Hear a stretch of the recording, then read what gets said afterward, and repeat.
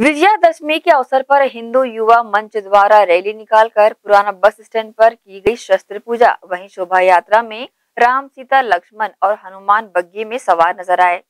नवरात्र के बाद शहर में विजयदशमी की धूम नज़र आई। हिंदू युवा मंच के द्वारा शहीद चौक से विशाल शोभा यात्रा निकाली गई, जिसमें बड़ी संख्या में युवा मंच के कार्यकर्ता राम भक्त शामिल रहे। राम सीता, लक्ष्मण और हनुमान की वेशभूषा में बग्गी में सवार होकर वहीं इस अवसर पर भव्य शोभा यात्रा में सब शामिल हुए। हर साल हिंदू युवा मंच के द्वारा लगभग 17-18 सालों से विजयदशमी पर्व मनाया जाता है।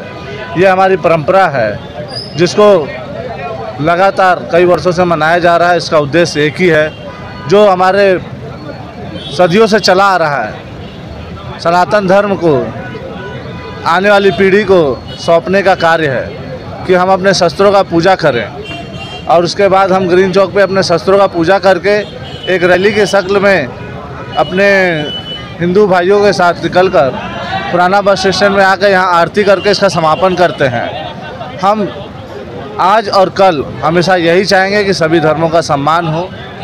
सब अपने अपने जो भी इष्ट देव है, उनका पूजा अपने विधि से बिल्कुल अच्छे माहौल में करें।